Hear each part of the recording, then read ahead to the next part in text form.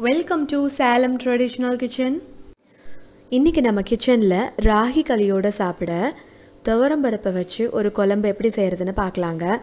இது பழைய காலத்தில் எங்கள் பாட்டியெல்லாம் செஞ்ச குழம்பு. நல்லா காரசாரமாக சூப்பராக இருக்கும். ராகி களிக்கு ஏற்ற பக்காவான சைட் டிஷ் இதுக்கு பேர் கொற்றை குழம்பு அப்படின்னு சொல்லுவாங்க. வாங்க எப்படி பண்ணுறதுன்னு பார்க்கலாம்.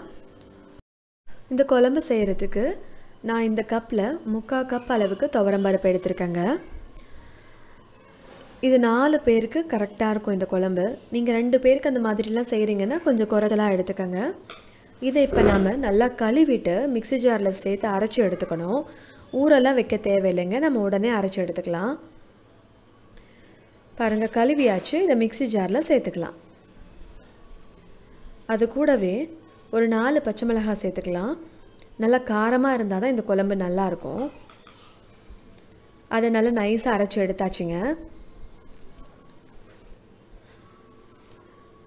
அஞ்சு பல் பூண்டை இந்த மாதிரி ஒன்று ரெண்டாக இடித்து அதே மிக்சி ஜாரில் சேர்த்துக்கங்க.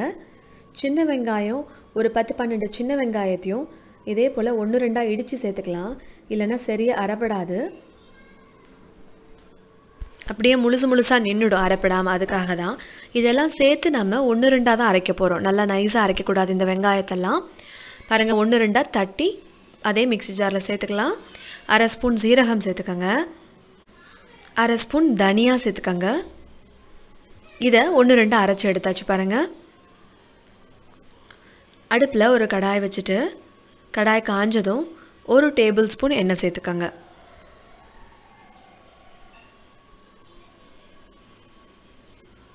ரொம்ப சிம்பிளான குழம்புங்க. பாருங்கள் நம்ம அரைச்சி வச்சதில் கொஞ்சமாக மஞ்சத்தூள் சேர்த்துருக்கேன்னா எண்ணெய் காஞ்சதுமே சின்ன வெங்காயம் வடகத்தை போட்டு பொரிய விடுங்க. அது ஒரு நல்ல டேஸ்ட்டு கொடுக்கும் இந்த குழம்புக்கு.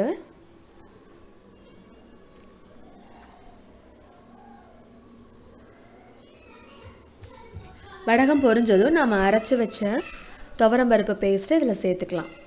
இது கூட நம்ம நிறைய தண்ணி சேர்க்கணுங்க. துவரம்பருப்பு உடனே கெட்டிப்படும். குறைஞ்சது ஒரு லிட்டர் அளவாவது இதுக்கு தண்ணி சேர்த்துக்கணும் நான் இப்போ. கைவிடாமல் கிண்டிகிட்டே இருங்க. இல்லைன்னா அடி பிடிக்கும் இந்த குழம்பு. ஒரு அஞ்சு நிமிஷத்தில் ரெடி ஆகிடும் தேவையான உப்பை சேர்த்துக்கங்க. இது கூட ஒரு கையளவுக்கு முருங்கைக்கீரையை சேர்த்துக்கங்க. இதெல்லாம் நல்லா முதலே கழுவி வச்சாச்சுங்க. கழுவி வச்ச முருங்கைக்கீரையை கொஞ்சம் சேர்த்தாச்சு. முருங்கைக்கீரை ஒரு அஞ்சு நிமிஷத்தில் வெந்துடும் அப்போ நம்மளோட குழம்பும் ரெடி ஆகிடும்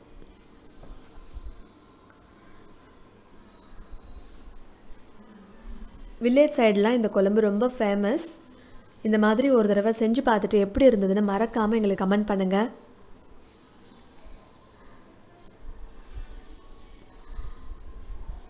சேலம் ட்ரெடிஷ்னல் கிச்சனுக்கு சப்ஸ்கிரைப் பண்ணுங்கள் பக்கத்தில் இருக்கிற பெல் பட்டனை ப்ரெஸ் பண்ணுங்கள் இந்த வீடியோவை லைக் பண்ணுங்கள் ஷேர் பண்ணுங்கள் இந்த மாதிரி கிளறி விட்டுட்டே இருக்கணுங்க இல்லைன்னா அடி பிடிச்சிரும். ராகி களிக்கு நான்வெஜ் குழம்பெல்லாம் செஞ்சு சாப்பிட்டு பார்த்துருப்பீங்க. இந்த மாதிரி வெஜிடேரியனில் இந்த கொற்றை குழம்பு செஞ்சு சாப்பிட்டு பாருங்கள் பாருங்கள் கரெக்டான கன்சிஸ்டன்சி வந்துருச்சு. அஞ்சு நிமிஷம் ஆயிடுச்சு. நம்மளோட முருங்கைக்கீரைலாம் வெந்துருச்சு. இப்போ நம்ம அடுப்பை ஆஃப் பண்ணிக்கலாம்.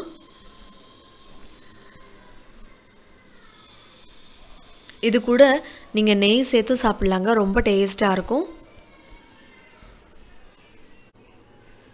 தேங்க்யூ